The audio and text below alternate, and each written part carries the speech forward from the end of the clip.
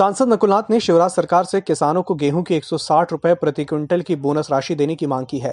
नकुलनाथ ने EMS TV से चर्चा करते हुए कहा कि कमलनाथ सरकार किसानों को 1 अप्रैल से गेहूँ का 160 रुपए बोनस देने जा रही थी, लेकिन इससे पहले ही कांग्रेस की सरकार गिरा दी गई। नकुलनाथ ने कहा कि मुख्यमंत्री शिवराज सिंह चौहान संकट की घड़ी में किसानों को उनके हक का एक रुपए प्रति क्विंटल का बोनस प्रदान करें। हमने तो घोषणा भी कर दी थी कि हम किसानों को एक रुपए बोनस देंगे। जब से भाजपा सरकार आई है हमारा किसान परेशान है। मुख्यमंत्री खुद कहते हैं वो किसान के बेटे हैं। तो उनको किसानों का दर्द समझना चाहिए और किसानों को तुरंत, जल्द से जल्द बोनस दिलवाना चाहिए। भोपाल से ईएमएस टीवी के लिए कैमरामैन डैनी खान के साथ राम पवार की रिपोर्ट।